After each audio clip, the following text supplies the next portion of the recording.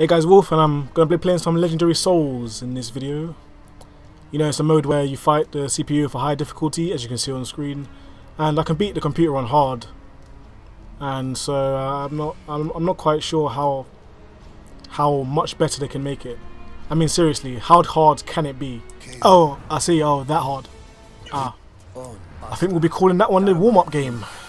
Oh damn, were you were you, still, were you still playing? I went to get something to drink.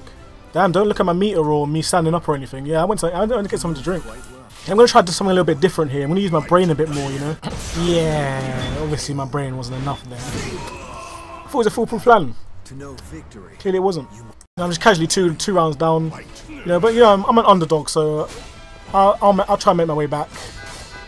And uh, I've decided to just start spamming moves because computer doesn't need to be outfought. It knows what you're about to do. If it lets you have a round, it, it's, it's just letting you have a round essentially.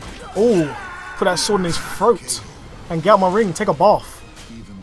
Essentially, if the, if, the, if you get around on the computer, it's letting you get around. It's not it's not you like outsmarting it. It knows exactly what you, knows exactly what you're putting into the into the controller.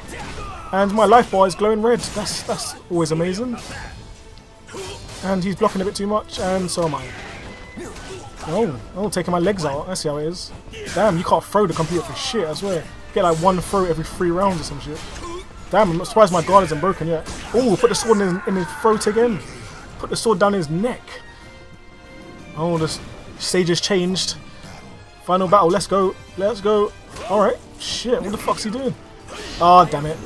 Oh, damn it. Oh, damn it. That's not good for the health. That's not good for the health. Mitsurugi is all mine. Oh, now I'm against the wall. Oh, no, this, is, this isn't going well. No. Okay, I can't get up. I can't get up. I've fallen and I cannot get up. Oh, 2KB. Oh, throat, throat sword. Oh, taking away his health. It's getting close now. It's getting close. Oh, guard impact. What the fuck fuck's he doing? Oh, look how much health I've got left. He's going to do it again, isn't he? Yeah, blocked it. Oh, look. It's going close. It's close. It's close. Oh, and I lose again. I lost again. That's lovely. Do you know what? I'm mad now. This guy's even speaking other languages. What, do I need to get a translator in here? Like, what's going on? Do you know what? Just spam moves. Just hit him with everything you have. I don't care if you have to find moves from other people. Just find moves and kill him.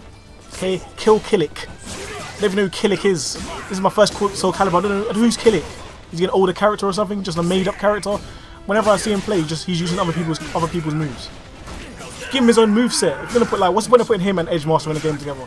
Just either give him a move set or give Edgemaster a move set. I don't really understand why they have to give them other people's moves. Yeah? Come on, DLC. Yeah, give us some DLC. DLC of a move set for Kilik. Can I round up here? I have to not have to not choke. Do not choke, Darren. Do not choke. Literally and figuratively, figuratively, however, whatever the word is. Do not choke on his rod.